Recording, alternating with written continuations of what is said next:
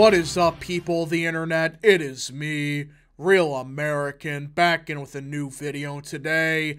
I cannot believe just in 48 hours, Team DeSantis has already gone off the rails. And let me be clear, I'm not attacking DeSantis himself, right? That's not this not nothing about DeSantis or Trump. It's the people directly around DeSantis right? Th- that's who I'm talking about. I'm not talking about people that support him. I'm talking about the inner circle.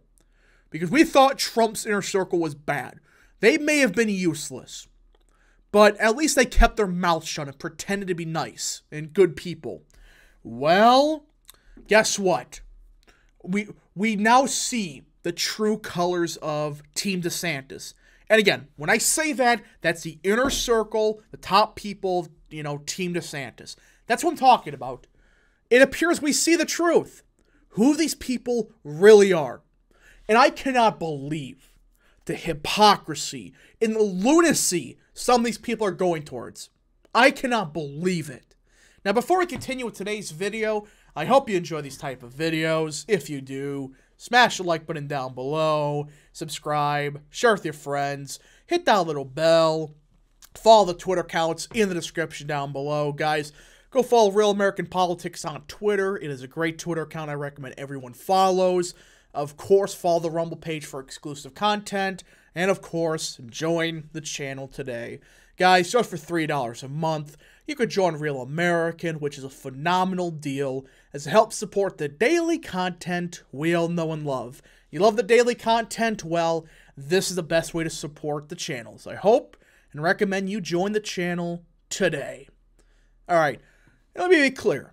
I don't want to levy personal attacks, but when you start doing this crap instead of focusing on policy, that's a line that I'm not allowing. So, top DeSantis aide argues with a 16 year old about Botox in Ukraine one day after disastrous campaign rollout. You thought this was a parody?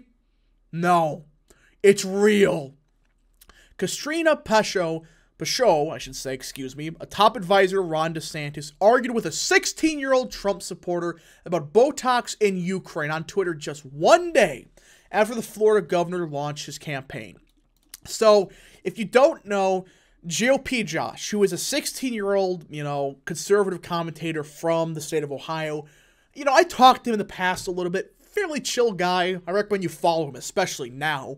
Well, he did a little bit of trolling you know, you know, this channel, we love trolling. And he did it, and it somehow got the response of this loser, who, mind you, this is a top DeSantis aide. This isn't, you know, some Joe Schmo down the street that says, I'm a DeSantis aide. No, she is a, one of the top people in DeSantis's circle or world, whatever. And Josh, he did the perfect thing. He did some trolling, how much of the $1 million establishment raised yesterday will go towards your Botox? And Pushaw is like, Does your mom know what you're doing on the internet? And GOP Josh with a perfect response Does your boss know you're a foreign national? I cannot believe this is real. We have. I, I think we broke it in the Matrix yesterday. I mean, this is real! She is arguing with a 16 year old conservative commentator over this? I mean, I'm not going to get into it, but it's like, jeez. How are you this ignorant to get into an attack, a shit fest, whatever, with a 16 year old on Twitter? And But that was yesterday. I thought, okay, this is just one thing that's going to blow over after a week. And again, the, the one thing I was talking about the sexual, apparently some DeSantis supporter. I don't know who it was. Apparently, he was like, "Oh my gosh, uh, GOP Josh, you uh, uh, dick size or something like that." It's like, dude, that doesn't seem right. Either way, Josh is a great guy. I recommend you follow him. I thought, okay, this was the bottom of the barrel. I thought we couldn't go deeper. Well, Team DeSantis, they dug below the barrel. They dug through it. They went below the barrel I cannot believe what happened just a couple hours ago. So, Gavin Mario Wax is, in my opinion, one of the best Republicans in the state of New York. He considers himself a populist and the head of the New York Young Republican Club. It is one of the better clubs or organizations in New York. They're pushing, you know, a more conservative nationalist Republican Party.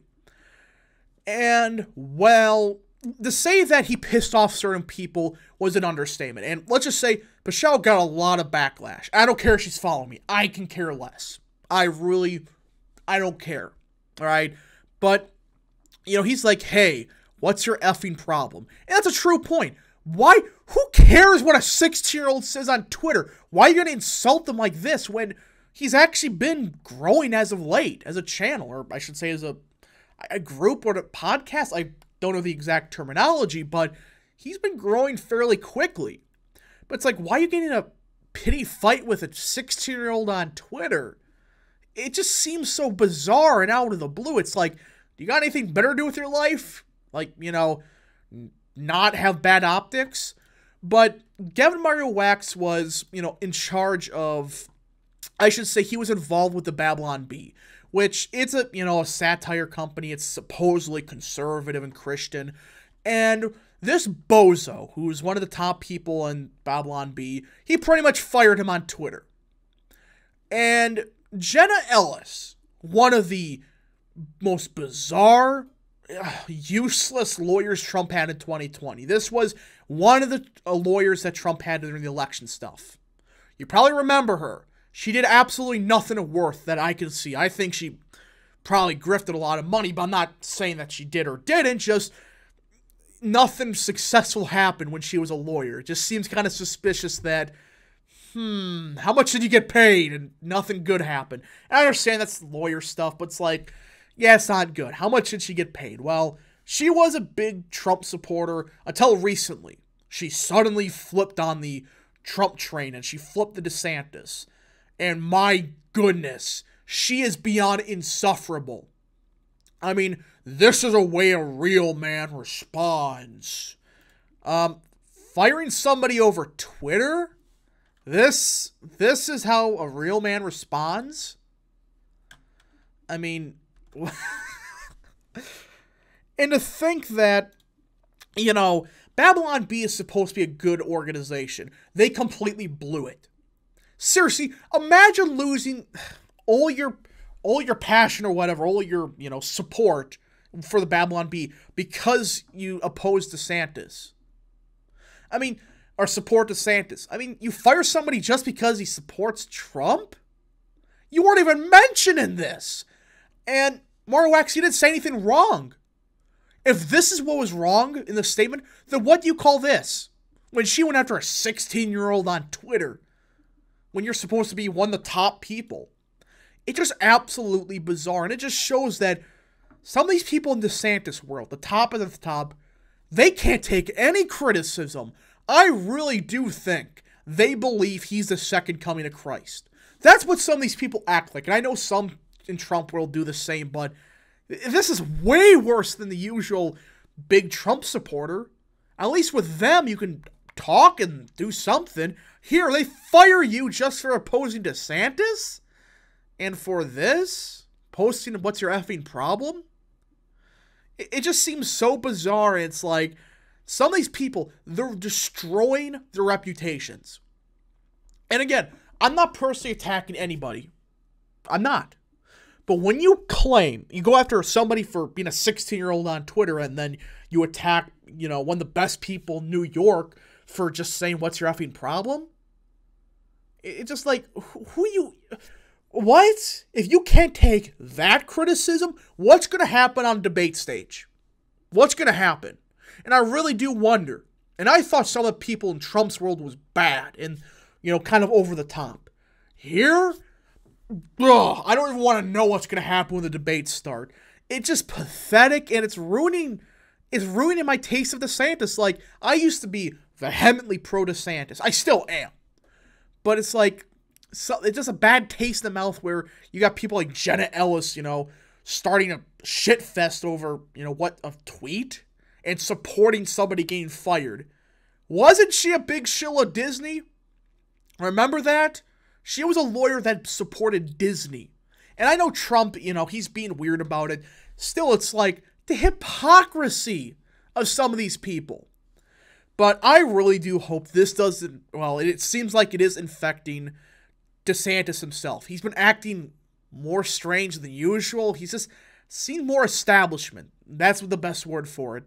But I'm hoping that DeSantis fires all these people because I really do think it's dragging out his career. And I'm starting to wonder were these the people that started the rift between Trump and DeSantis? I'm starting to wonder because out of the blue, they just attack people just for supporting Trump. And let's be real, Trump's did some dumb attacks. I'm not denying that. But, you know, you can't just say, oh my gosh, you know, he should be fired for his job. And what's going to happen next week? How much you would have bet in like a couple months? They're going to be hoping he gets indicted. Because that's what these grifters are. They want Trump to get indicted because, oh, that means DeSantis can rise. If Trump gets indicted and DeSantis is the nominee, he ain't winning. I'm just being realistic here. But, anyways, folks, thank you so much for watching. If you did enjoy, smash the like button down below, subscribe, share with your friends, hit that little bell, follow the Twitter accounts in the description down below, and of course, join the channel today. Again, this isn't a personal attack. I don't stoop as low as going after a 16 year old on a Twitter account for a joke. But she took it seriously. I guess that may not be a joke. But again, I'm not personally attacking them. Like, yeah, I'm not saying do or don't boycott these people, but it just seems out of the blue they would do this to starting with a 16 year old. It's just ridiculous, but do go follow GOP Josh on Twitter. It is baloney what happened to him, and these people, they need lives at this point. Thank you so much. Godspeed to all of you.